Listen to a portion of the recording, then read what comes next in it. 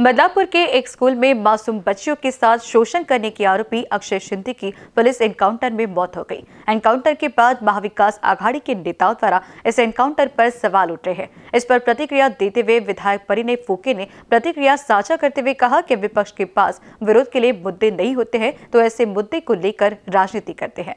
नाही, बघा असं आहे की या प्रकारचे जे एक दुर्दैवी घटना बदलापूरला झाली होती एक तर त्यावेळेसही त्या चिमुकलीच्या याच्यावर जे अत्याचार झाले होते तिचंही विरोधकांनी राजकारण केलं. तिथे मोठ्या प्रमाणात लाडकी बहीण योजनेच्या संदर्भात असणार किंवा इतर योजनेच्या संदर्भात त्याला त्याची कंपॅरिझन केलं.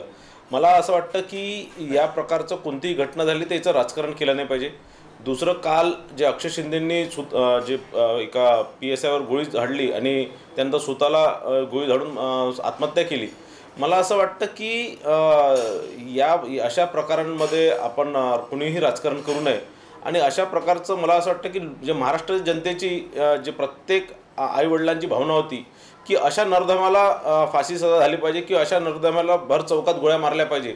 याच प्रकारचं मला वाटतं जे शासन करू शकलं नाही जे कोणीच करू शकलं नाही ते स्वतः देवानेच केलं आणि देवानेच त्या याची याला कुबुद्धी सुचवली आणि त्यांनी हे सगळं केलं. बघा असं आहे की आता महाविकास आघाडीच्या सगळ्या नेत्यांना कोणतेही दुसरे मुद्दे भेटत नाही. सरकार अडीच वर्ष चांगली सरकार चालली महायुतीची सरकार चालली आणि या महाविकास आघाडीला कुठेही सरकारवर टीका करण्याकरता कुठे जागा भेटत नाही. तर असे जे या प्रकारच्या ज्या घटना आहेत किंवा या प्रकारच्या ते काहीतरी केविलवाना आपल्याला स्वतःला प्रयत्न करतात आहे की सरकारला बदनाम करण्याचा.